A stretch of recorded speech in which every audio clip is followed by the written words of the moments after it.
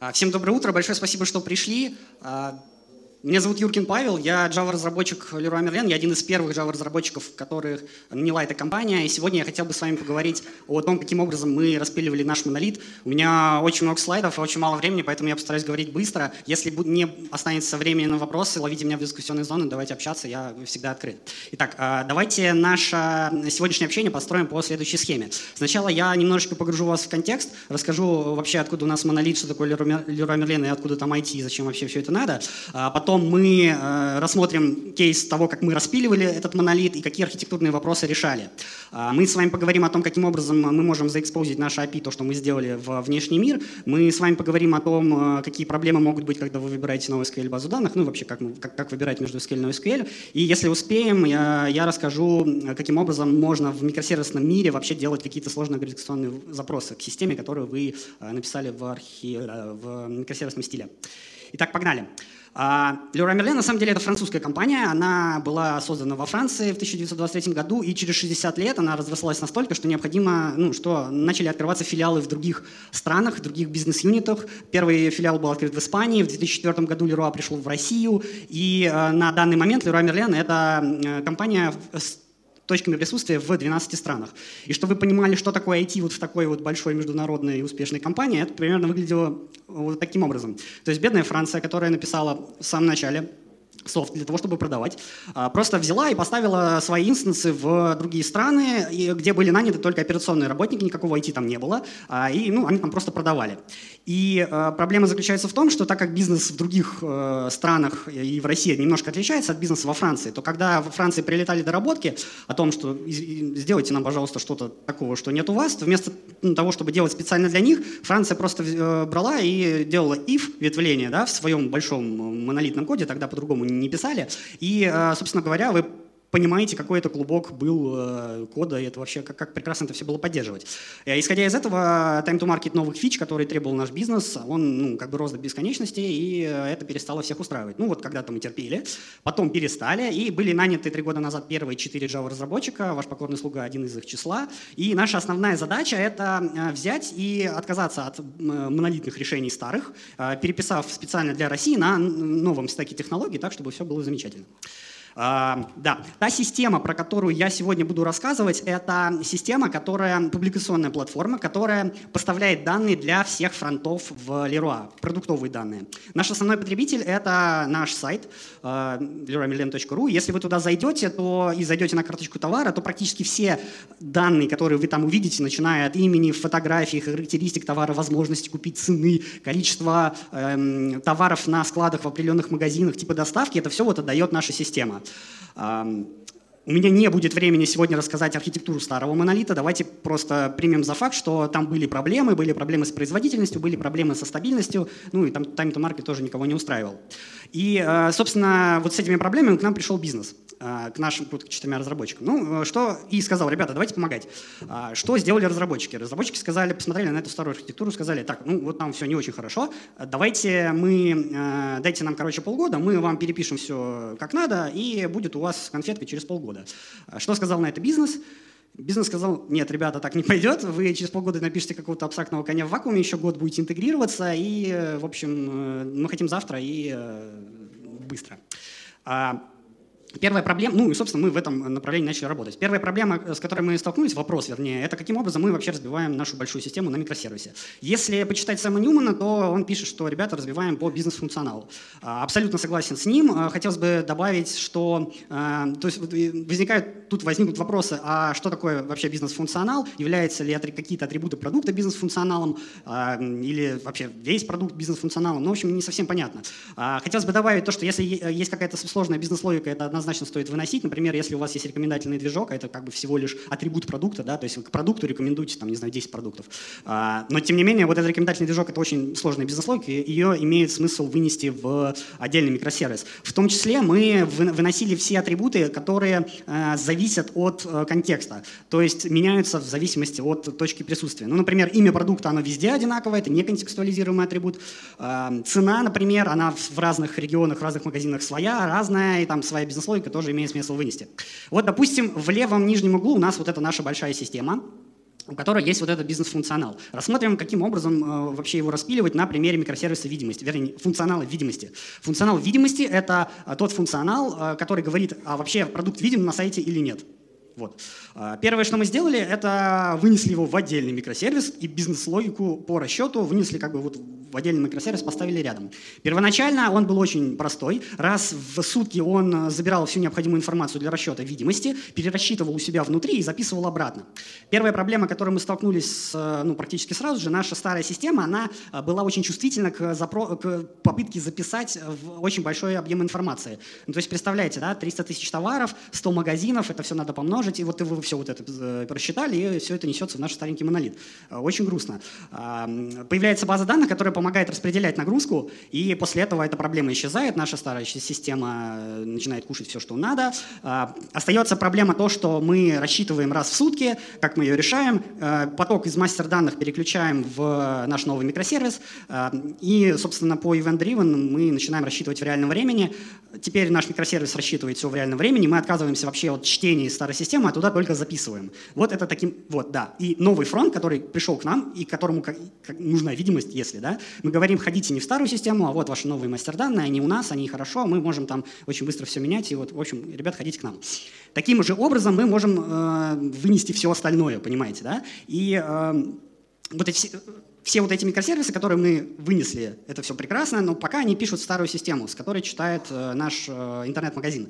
И э, на самом деле у каждого микросервиса есть свое API, оно там замечательное, дает все, ну, все необходимое, но мы не могли сказать э, нашему фронту, ребята, вот у вас куча-куча API, давайте ну, используйте. Да? Почему? Потому что фронт у нас ленивый, у него был один URL, и он получал все, а теперь э, у него там 20 урлов, и, в общем, возник вопрос, каким образом мы вообще будем экспозить наше API, то, что мы сделали во внешний мир. И э, к этому есть несколько вариантов вообще, как подступиться. Ну, вариант самый первый. Uh, у вас есть ваша доменная сущность, э, доменная область, да, доменная область, у вас есть ваши микросервисы в этой доменной области, которые выполняют какой-то функционал. У вас есть единая точка входа, называется это API Gateway, там, где вы пробрасываете ваши, то, что вы хотите из ваших микросервисов наверх. Все прекрасно, все замечательно. Понятное дело, что для большинства фронтов э, не нужно API именно одного микросервиса, нужно какая-то вот что-то слепить из нескольких микросервисов, поэтому должна быть какая-то логика агрегации а, того, что у вас э, есть в вашей доменной модели. А, вот это первый вариант, как это сделать. А какие у него плюсы и минусы? Значит, это единая точка входа, но это на самом деле единая точка входа, это де-факто стандарт. Это очень просто, и Крис Ричардсон в своей книге именно вот этот подход и культивирует, что, ребята, вот давайте делать так. Какие могут быть проблемы? А, проблемы в том, что чем больше у вас фронтов и чем больше у вас микросервисов, тем больше логики у вас вот в этом бедном гейтвее. А так как мы, э, это команда, которая подразумевает себя э, как команда, которая поставляет вообще всем фронтам, то вы понимаете, ну, во что бы мог разрастись этот гейтвей. И, собственно говоря, там тоже ну, была бы связанность. Поэтому существует второй вариант, это оркестратор плюс гейтвей прокси. Тогда, когда вы э, для каждого фронта, для каждого потребителя создаете отдельный там оркестратор, если это нужно, естественно, а, на котором реализуете вашу бизнес-логику очень простенькую, сложить там э, пару квадратиков, и э, экспозите то же самое через, э, ну, то же самое через Gateway Proxy. Какие плюсы и минусы? Ну, во-первых, мы, у нас теперь все фронты независимы. Если мы э, теперь что-то меняем в одном оркестраторе, остальные точно не пострадают. В первом случае это было не так, все в одном, ну, как бы, в одном Gateway могли быть проблемы. А, в качестве Gateway можно использовать решение уже готовое. Мы используем Zool, можно поставить поставить Nginx, ведь все, что ему надо, это просто покинуть URL, ну, то есть там, его не надо писать, его надо просто взять и на этом закончить. А, минусы какие? Прошу прощения. Минусы какие? Здесь, здесь есть лишний вызов, потому что сначала ваш, э, э, сначала ваш фронт идет в Gateway Proxy, потом в оркестратор, который собирает, и только потом до микросервисов доходит. И э, ну, большее количество сущностей, это, естественно, сложнее, чем если бы она была всего одна. Но у первого и второго подходов есть свои проблемы. Проблемы следующие. Вот всеми доработками гитвеев э, и оркестраторов занимается доменная команда, то есть занимаемся мы. Тогда, когда этих фронтов много, это может выродиться вот следующее. То есть мы вместо того, чтобы э, просто пилить новые фичи, новый функционал, мы э, просто пытаемся удовлетворить постоянно э, приходящие доработки и хотелки от фронтов. Ведь фронт, он очень близок к бизнесу, а бизнес постоянно все меняет, и, в общем, может это, это стать очень э, большой проблемой. Э, единственное, что можно сделать, это как-то заложить, в бэк, то есть положить все эти хотелки в бэклог, но тогда и, собственно, и бизнес будет страдать, вы будете делать, бизнес будет получать вот эти доработки э, там, через полгода, и, ну, в общем, это может быть проблемой. А, поэтому есть э, третий вариант, который мы у себя реализовали, э, называется API Manager.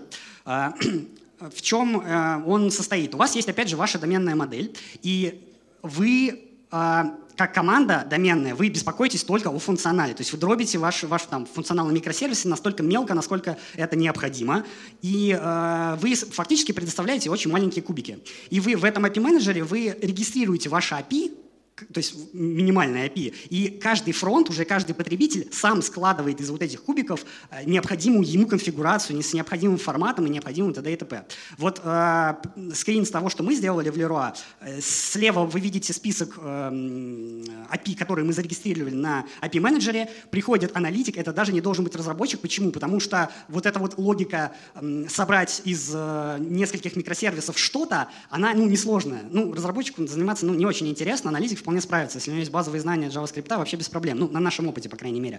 Вот, приходит э, этот э, замечательный аналитик и э, пишет блок-схему элементарную. Ну, вот здесь вот, если э, store ID есть, вернее, если store ID нету, то выкини сразу ошибку, а если он есть, то сходи, пожалуйста, там в, э, в микросервис по э, остаткам, микросервис по продуктам и микросервис там еще какой-то третий. Это все дело параллельно делается. Потом возьми, а, а, обработай этот JavaScript каким-то образом быстро и, ну, и, и все. После этого этот аналитик нажимает кнопку «Заинсталлировать», э, проходится полный цикл CI-CD, и у вас, э, вуаля, новый микросервис, и ваша команда доменная, она вообще даже не знает, что к ним подключились, каким образом э, вот этот формат э, выбрали, вы, выбрала фронтовая команда и так далее и тому подобное. А, какие плюсы и минусы у этого подхода? Ну, во-первых, э, доменной команды становится все равно, ну, то есть э, доменная команда отвязывается от э, фронтовой команды. Э, мы, э, мы становимся независимыми, мы занимаемся функционалом, то, чем мы как бы хотим и должны заниматься заниматься. Дальше, фронтовая команда сама владеет вот этим вот оркестратором, да, и э, она сама может внутри что-то поменять, ей не, не нужно ждать, пока наши руки шаловливые дойдут до их доработочки. И э, на этом API менеджере также можно сделать из коробки э, истории по типу аутентификации, э, раздать всем клиентам API, ключи, по которым вы будете трекать то, что, э, чтобы не задедосил, то есть устанавливать ему rate лимиты, там, ну и так далее и тому подобное. То есть э, очень полезно. Но это все еще лишний вызов, а может быть даже не один, потому что API менеджер это история такая ну, непростая, это раз. И во-вторых, эта история действительно сложна в реализации.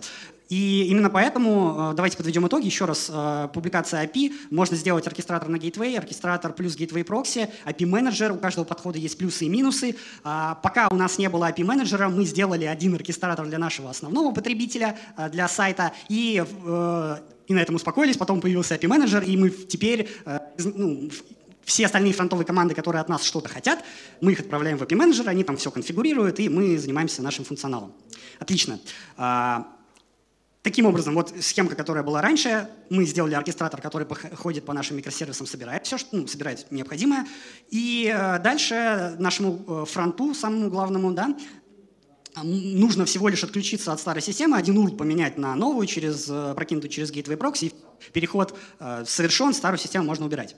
Теперь давайте перес, э, э, приступим к... В общем, короче, как выбрать базу данных, как ее выбирали мы. Первая история — это каким образом выбирать SQL или NoSQL. Да? Э, вбиваем этот же запрос в Google, э, и первая же ссылочка, вот у нас там чекбоксики, когда мы используем SQL, э, а когда мы используем NoSQL, и смотрим просто. Итак, мы SQL используем, когда у нас реально очень сложные запросы. Смотрим мы на нашу систему и понимаем, что мы хотим... Самый частый запрос — это «отдай нам что-то по ключу», «дай нам по продукту от э, Product ID или дай нам коллекцию продуктов а, по Family ID, если вы в каталог там зашли, условно говоря. Поэтому не проходит. А, транзакционной части у нас тоже там нет. Почему? Потому что мы а, система кэш фактически. Те продуктовые данные, которые ну, реальные, они создаются в старых мастер-системах монолитных, которые не держат нагрузку, собственно, поэтому мы и нужны, и которые просто нас нотифицируют э, сообщениями, мы просто эти сообщения берем, складываем, ну, обогащаем. Есть у нас э, штуки, которые нужно дополнительно посчитать, чего нет в мастер-системе, но это отдельная история. В общем, с транзакционностью тоже вроде, ну, транзакций фактически нет, и это нормально. И мы используем SQL, если мы не а?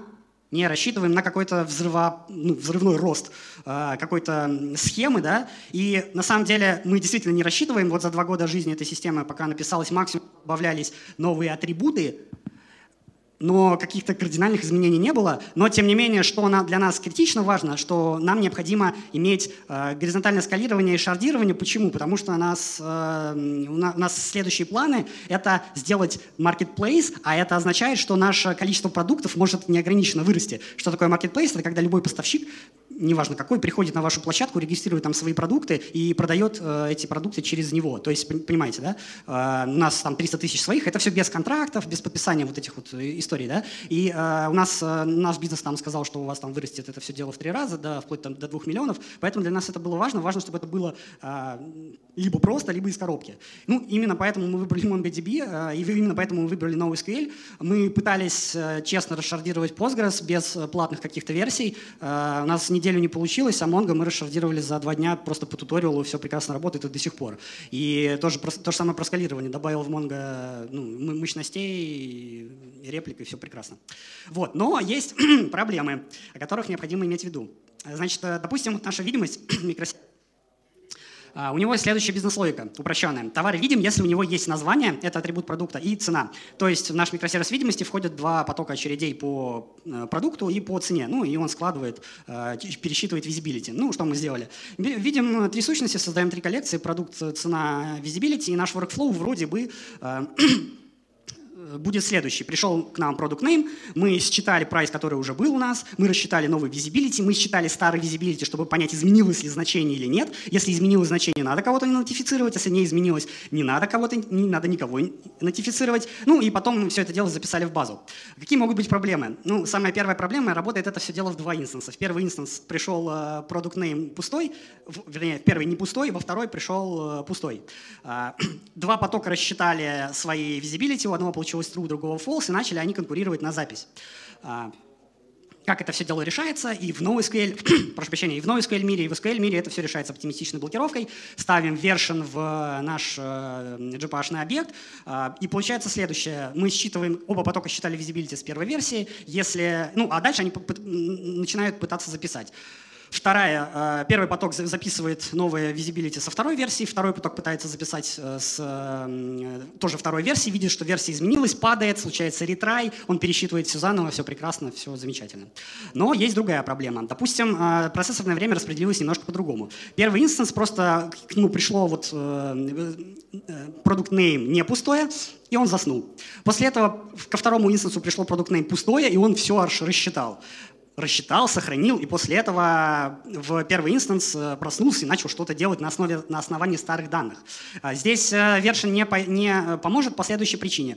Э, второй поток э, или второй инстанс считал старый visibility с первой версии, записал со второй. И тут первый инстанс считывает visibility, а он уже со второй версии, апает эту версию, считывает... Э, то есть, и, и вы понимаете, да, что... То есть как бы транзакция не нарушена, ничего нет, все нормально, версия на 3, но тем не менее результат э, неправильный. Почему? Потому что что мы сначала, у нас сначала пришло продукт name пуст, не пустое, а потом пустое. То есть правильный результат был у второго потока. А, и это связано, и эта проблема, она связана с тем, что в NoSQL баз данных нету такое понятие, как select for update. Если бы в SQL базе данных вы, когда к вам что-то пришло, просто сказали, запретили вообще считывать информацию а, ну, и работать по ней, то у вас бы все было замечательно. В NoSQL, э, по крайней мере, в Mongo такого нету, и это реально проблема. Что мы будем делать? Ну, во-первых, можно реализовать э, это все дело самому. Э, кто хочет, может посмотреть на библиотечку ShedLock. Там, ну, кто, джавист, если, значит, библиотека делает следующим образом, следующее. У вас есть много-много инстансов, каждый инстанс по шедулеру делает какую-то таску. Необходимо добиться того, чтобы у вас э, только один инстанс в, выполнял эту таску. Это все дело на базе данных конфигурируется, ну не конфигурируется, а лочится. В общем, э, ребята могут, э, можно это сделать. Второй вариант — использовать Redis, так делает Юла. Э, у Redis тоже есть свои локи, которые можно использовать. Ну и тот вариант, который выбрали мы, мы просто взяли, слопнули все в одну коллекцию. То есть у нас есть одна коллекция Visibility, там есть продукт ID, рассчитанный Visibility, все ивенты именно по этому продукту, и таким образом наша оптимистичная блокировка э, работает и все прекрасно. А также очень советую почитать статью, почему вы никогда не должны использовать MongoDB в продакшене. А, на Хабре есть замечательный перевод, это очень интересное чтиво. Если хотите, почитайте, я уверен, что вы оцените. А, не успею рассказать, что делать, когда нельзя сделать, э, схлопнуть в одну коллекцию, к сожалению. А, перейдем к последней теме, сложные запросы, очень быстро. А, вообще сложные запросы, зачем они нужны? Они нужны, когда вы строите какого-то типа, ну, какого-то вида отчеты. Да? а у вас вот микросервисы, они очень, э, они занимаются только своей, ну, своим делом, да, а вам необходимо вообще все агрегировать. В микросервисном мире можно сделать, э, у вас есть два варианта, как вообще поступать. Первый вариант — это агрегация через э, прокси, ну, на самом деле, ну да, это агрегация. Это то, о чем я говорил, это оркестратор, у вас стоит какой-то микросервис, который бегает по всем э, нижележащим микросервисам, собирает необходимую информацию, предоставляет в необходимом виде э, агрегационный сложный запрос. Какие плюсы-минусы? У вас всегда up-to-date инфо, то есть вы всегда ходите в мастер-системы, ваши микросервисы, и э, у вас всегда это up-to-date. Это универсальный случай, когда вы можете э, любой запрос вот таким образом выполнить. Проблемы в том, что это будет грузить систему, то есть вы понимаете, если вы хотите выгрузить отчет, то это нужно выгружать все, все продукты, а отчет это не такая важная история по сравнению с тем, чтобы просто пользователь видел товар. И, наверное, не очень хорошо грузить рабочую API таким образом, чтобы ну, пользователь страдал. Это первая история. И, во-вторых, это долго. Если вы хотите выгрузить всю базу, представьте, что это будет, если по всем микросервисам пройтись. Э, то есть один запрос выполняется долго. Это первая история. Вторая история, которую вы можете сделать, это специфично для, для определенного вида запрос. Что я имею в виду? У вас есть э, много в ваших микросервисах, они э, сливают всю информацию через что-то, у нас это Rabbit, в базу данных, и вот это ваша вот это ваш новый микросервис, микросервис отчетов или микросервис отчет, которому, у которого вы будете спрашивать необходимую информацию, и база данных, вообще архитектура должна быть сделано специфичным образом для определенного запроса. Что я имею в виду? Если у вас, вам нужны какие-то запросы, там, где вам нужны какие-то адские джойны, то вы выбираете SQL. Если вы хотите э, запрос в вашу систему с каким-то поиском, то вы выбираете Elasticsearch. То есть основная история, что вы выбираете специальные технологии, чтобы вот ваш запрос выполнялся быстро и хорошо и замечательно. А, плюсы и минусы этого дела. Ну, во-первых, это быстро, я уже сказал. Никакого импакта на основной API, это замечательно. А, проблема, они универсальны для каждого запроса, вам придется изучить новую технологию. Ну, это не проблема, я думаю. И э, проблема в Вернее, и еще один минус заключается в том, что вы обращаетесь не в, не в мастер-системы, а в копию фактически, да, и у вас могут быть проблемы там, с консистентностью, это отдельная история, но тем не менее она есть. Так, э, все, подводим итоги. Значит, вот эта вот архитектура, которая у нас получилась, вы видите ее на слайде, мы получили распределенную систему, я про производительность не успел поговорить, но поверьте, там больше 300 RPS, и это без тюнинга. А, что значит без тюнинга? Если вы просто выберете, вот, вот, вот допустим, вот этот Java, Mongo и вот э, несколько там оркестраторов, то ничего не надо настраивать, просто сделали, у вас э, такая ну, 300 RPS будет держать. Если вы прикрутите там Undertow, Garbage Collector и еще, будет еще больше. И мы получили также все необходим, ну, все плюшки от микросервисной архитектуры. Вы прекрасно знаете, э, чем она лучше, чем монолит. Я не буду об этом, на этом останавливаться. Если вы хотите публиковать что-то через API, вы можете сделать это тремя способами. Еще раз, это оркестрация на gateway, один большой gateway э, с логикой агрегации. Оркестратор плюс gateway, логика агрегации в оркестраторах по одному на фронт, плюс gateway прокси, который вы из коробки можете поставить. Или API менеджер, это тогда, когда ваши аналитики сами пилят эм, Э, оркестратор. Аккуратнее будьте с многопоточностью в Mongo. Если вы хотите, вообще, когда вы выбираете базу данных, э, рассмотрите многопоточный кейс. Э, это всегда интересно и увлекательно, если вы этого не сделали раньше. И сложные запросы к вашей системе можно тоже делать двумя, двумя способами. Либо вы агрегацией это делаете, собирая необходимую информацию, либо вы создаете специальный сервис, специфичный для определенного рода запросов, и тогда он отвечает быстро и хорошо, но не из мастер данных, а из их копии. Спасибо за внимание. У нас осталось время на вопросы. Прекрасно, один вопрос. Пожалуйста. Микрофон нужен, да. Скажите, пожалуйста, как вы на агрегатах решаете проблему с недоступностью сервисов? У вас же время ответа тогда вообще тоже повышается существенно. А, хороший, замечательный вопрос. А, тут э, два, э, две истории. На самом деле, чем больше у вас узлов, последовательных соединений, чем больше возможностей отказа. Это абсолютно верно. Но у нас э, каждого инстанса микросервиса по несколько штук. Если у нас кто-то падает, мы это решаем через сервис Discovery. Если микросервис... То есть что такое сервис Discovery? Это отдельный сервис, там регистрируются все ваши сервисы, и микросервис, к которому нужно обратиться к определенному имени, у него есть аж целый список. Ну, если у него один, один не вышел, он идет к следующему. А, это все работает, если у вас очень ну, ограниченное количество последовательных запросов. И это критически важно. Если у вас будет вот такая вот схема, то вероятность отказа каждого узла вы можете посчитать там, там плохо. И э, действительно при проектировке такого вида систем необходимо учитывать, чтобы минимальное количество было э, за, этих э, запросов, э, по крайней мере, последовательных. Я надеюсь, я ответил на ваш вопрос. Все? Еще есть вопрос? Еще есть время на еще, еще один вопрос пожалуйста. Спасибо за доклад. Пожалуйста. Было интересно. У меня, собственно, вопрос про API менеджер. Угу. Когда там собирают что-то, как тестируют, что это хорошо работает. Дальше, если они собрали что-то, а потом хотят подправить, как они версионируют новую версию. И третье, что происходит, если underlay, канонические вот эти ручки, которые они использовали в своей, ну, в своей работе, меняются в процессе и меняются типа обратно совместимо. То есть версия не поднимается у канонической ручки. Но непредсказуемо для того сценария, который они собрали на API-менеджере. Как вот эти все вопросы решаются? А, спасибо за вопрос. Я, к сожалению, не знаю а, именно подноготную API-менеджера. Я знаю, что у нас стоит, и мы от этого, как доменная команда, получаем бенефит. Но если вы подойдете после доклада, я вам дам контакт человека, который вас проконсультирует и расскажет все, как именно там. А, у меня, к сожалению, нет экспертизы. Извините. Все? По времени. Спасибо большое. Спасибо. Хорошей архитектуры вам.